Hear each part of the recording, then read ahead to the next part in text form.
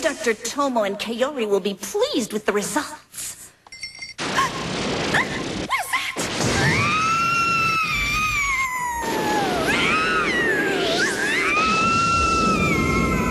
I wonder who those two can be.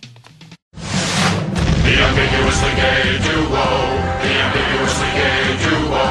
They are taking on evil, come what may. They are fighting all pride to save the day. They're extremely ambiguously gay. They're ambiguously gay. The ambiguously gay duo. The ambiguously gay duo. Tonight's episode. It takes two to tango.